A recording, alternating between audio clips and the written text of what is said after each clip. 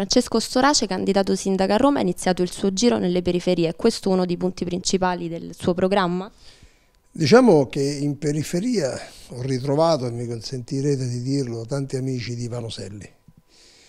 E grazie anche a lui ho scoperto tante persone che hanno voglia di raccontare le loro storie. In periferia c'è sono una marea. A me ha colpito molto, ad esempio, uno degli incontri più belli che ho avuto a casa al monastero, dove da una parte c'è il contatto con una realtà sociale che vive condizioni oggettivamente difficili, nelle case popolari dell'Ater, e poi c'è la grande contraddizione.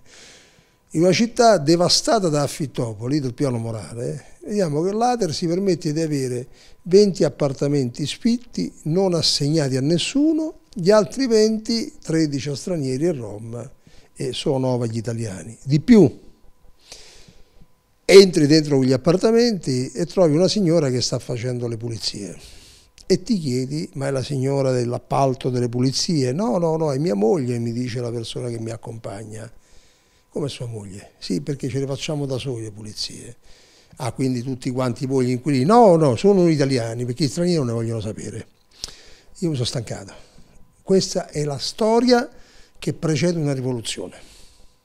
Ha fatto cenno lei a Fittopoli, ecco com'è possibile che addirittura sedi di partito hanno debiti o affitti irrisori con il Comune di Roma?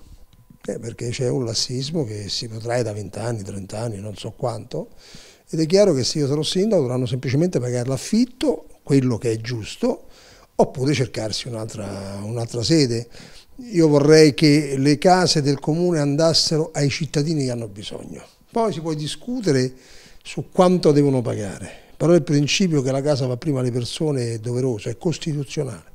Quindi in primis sindaco di Roma che si batte per i diritti dei più deboli?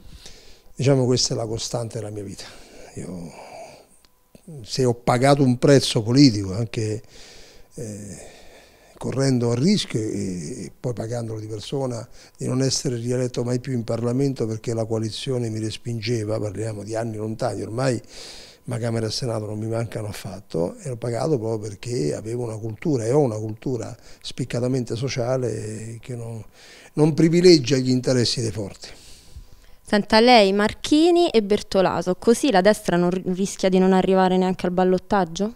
Diciamo è molto affollato il campo della sinistra, perché ci sono Giachetti e Morassut per il PD, Fassino ancora più là, Marchini e Bertolaso, che sempre quella storia rivendicano di sinistra, Bertolaso ci ha fatto sapere pure che era rutelliano, insomma eh, vorrei sapere solo ancora. Diciamo l'unico candidato di destra sono io. Qual è la principale differenza tra lei e Bertolaso? Beh, diciamo che lui è passato da un palazzo all'altro e da uno schieramento all'altro senza timori. Diciamo che eh, a me si possono rimproverare le parole, a lui c'è qualche giudice che dice che ha fatto altro, io sono garantista, sono sicuro che sia innocente, però prima di risolvere i problemi nostri risolva i suoi perché non è bello che dopo Mafia Capitale, che è stata caratterizzata per molto anche sulla pratica delle somme urgenze nei lavori, ci mettiamo proprio lui che insomma, è uno specialista del settore. Ecco. Eh, dopo Mafia Capitale noi non vogliamo più parlare di giustizia in questa città. Se non ricordo male Bertolaso qualche tempo fa voleva privatizzare, far diventare una SPA addirittura la protezione civile.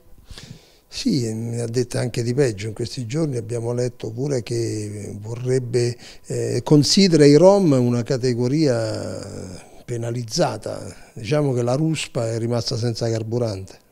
Ecco, ci rilenca in brevi i principali punti della sua campagna elettorale. Guarda, io vorrei garantire ai cittadini che anzitutto una cosa importantissima da fare, il comune va rimesso in pace con i suoi dipendenti e con i suoi vigili urbani. Se loro lavorano male perché sono trattati male, non ci sarà speranza di rianimare questa città. Noi dobbiamo far sì che chi lavora per la cocittà attraverso il comune debba essere anche soddisfatto di quello che sta facendo per servire meglio la popolazione.